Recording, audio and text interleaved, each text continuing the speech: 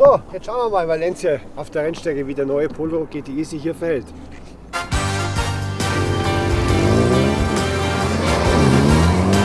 GTI, diese Buchstaben versprechen pure Sportlichkeit. Und die erfüllt natürlich auch der Polo GTI der vierten Generation. 192 PS leistet der 1,8 Liter TSI-Motor und ist damit 12 PS stärker als sein Vorgänger. Auf der Rennstrecke sind wir in der Version mit 7-Gang Doppelkupplungsgetriebe DSG unterwegs. 140, 150, 160, 170, da geht es ja mal richtig vorwärts, 180. Da schlägt das Herz des Rennfahrers. Jetzt anbremsen auf die Kurve zu. Runterschalten am Lenkrad mit dem DSG. Das ist natürlich auch toll, dass der Fahrer hier am Lenkrad schalten kann. Er muss die Hände nicht wegnehmen, wenn er die andere Gangstufe einlegt. Das ist wirklich perfekt. Ich liebe das. Und dann wieder einlenken. Rein geht's in die Kurve, voll aufs Gas kein Untersteuern, optimal.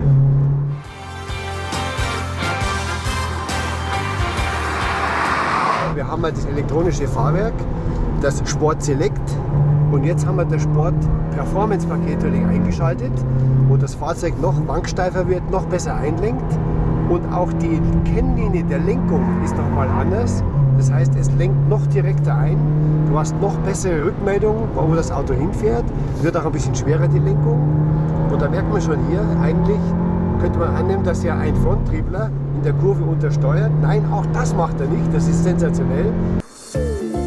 Alternativ zum 7-Gang DSG ist eine Variante mit manuellem 6-Gang-Getriebe erhältlich.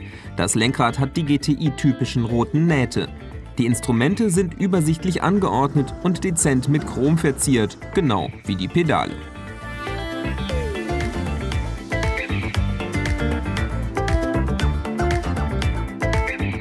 Natürlich dürfen die Karos in den Sitzbezügen nicht fehlen, sind sie doch Erkennungszeichen des GTI seit der allerersten Generation.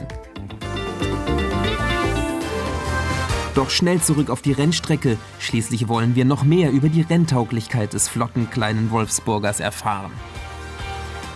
Valencia ist auch ein Bremsenkurs. Die 16 Zoll Bremse tut ihr Übriges. In Verbindung mit dem 17 Zoll Fahrwerk. 7,5 Zoll breite Reifen drauf.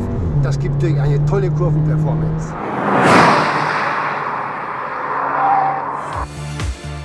Der Polo GTI ist sowohl als Drei- als auch als Fünftürer erhältlich. Die rote Linie des Kühlergrills setzt sich bis in die Scheinwerfer fort.